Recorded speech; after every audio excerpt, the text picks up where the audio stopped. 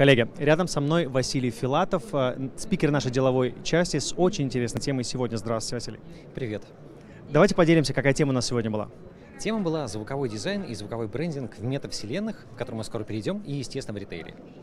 Это мне очень близко и очень интересно. И вот мы общались на нашем канале, вы можете посмотреть уже э, визуалов людей, которые рассказывали, что люди увидят в, этом, э, в этой метавселенной, что люди почувствуют вот, э, запахи какие-то. Давайте пообщаемся, что они могут услышать.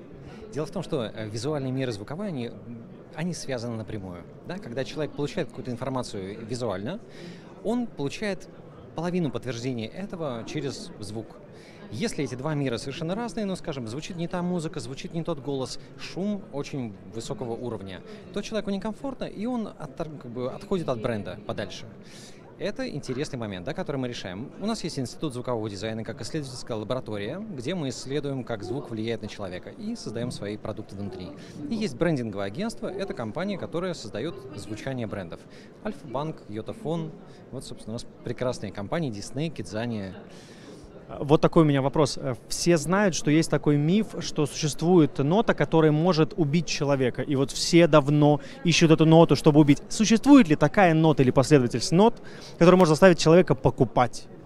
У нас как раз в РБК вышла статья по этому поводу, где я рассказал о мифах, которые, значит, э, существуют. Естественно, это миф.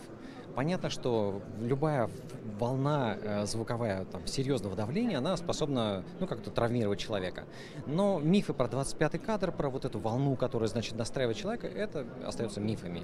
Но, тем не менее, есть определенные правила, по которым звуки влияют на человека, на его восприятие. Они заставляют его расслабиться или сосредоточиться. Это то, чем мы сейчас занимаемся в рамках нашего проекта «Сонотеатр». Наши, наши ученые поняли, что расслабляет Энигма и Шаде. А, дело в том, что совершенно в магазин может прийти любой человек, да, и мы не знаем до конца, кто этот человек. Он любит джаз, он любит классику, и поэтому ставить единый музыкальный фон достаточно опасно. Именно поэтому наша система сейчас нацелена на звуковой ландшафт природного звучания, что сейчас не хватает в эпоху ковида. А бесконфликтная получается история. Получается, кому-то не нравится классика, кому-то не нравится тяжелый рок, при этом при всем вы делаете абсолютно приятные всем фоны, которые точно все оценят. И еще иммерсивный, потому что он многоканальный, и нейросеть, которую мы создали, она воспроизводит, создает, генерирует эти звуки. Вы работаете с VR-щиками явно вот в одной команде, потому что недалек тот день, когда самое приятное, интересное, вот и весь experience вот э, доброты и счастья будет э, в метавселенных, и ты не, не, не уходя из дома будешь получать эту радость. Э, недалек тот день, когда люди не захотят выходить из дома, потому что вы будете слишком хорошо работать. Спасибо большое. Мы партнеры многих игровых конференций, мы знаем про игровые механики, а геймификация сейчас это новый тренд, особенно в ритейле, поэтому действительно так и есть.